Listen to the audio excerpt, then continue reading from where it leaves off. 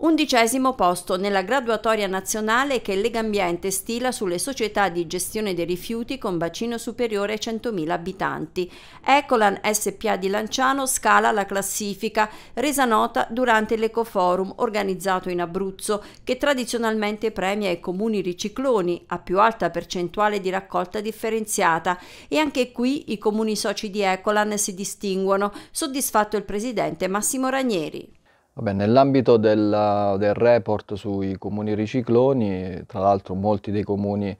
che gestiamo noi direttamente hanno avuto diciamo, l'attestato di, di, comuni ricicloni, c'è anche una menzione speciale per la Ecolan, eh, e, mh, in quanto mh, nella classifica dei consorsi, delle società che fanno gestione integrata dei rifiuti, siamo risultati all'undicesimo posto in Italia, primi del centro-sud Italia, e, e quindi siamo diciamo, una delle società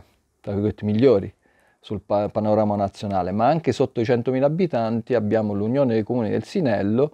che è, um, è, il socio di Ecolan, quindi il report riporta l'Unione dei Comuni del Sinello, ma sono i nove comuni che gestiamo eh, come Ecolan. E anche qui abbiamo una posizione di tutto rispetto, siamo al terzo quarto posto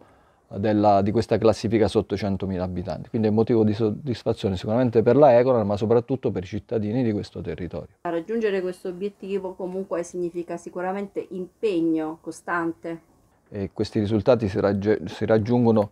se c'è una condivisione tra amministrazioni comunali, società, in questo caso la Ecolan, e soprattutto i cittadini, nonché i nostri operatori che stanno sul campo, che fanno diciamo, il lavoro quello più importante per la nostra società.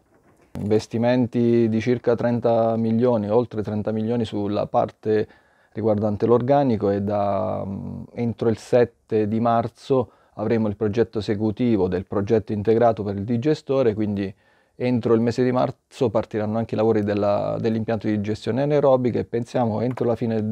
di, di, di quest'anno di, di, chiudere quella, quella struttura, cioè impianto della Forsu più di gestore nel parco che abbiamo definito della transizione ecologica. Quindi nell'arco del 2024 quali novità ci attendono? Abbiamo inaugurato in questi giorni due centri di raccolta ulteriori rispetto a quelli che già gestiamo, a Lama dei Peligni,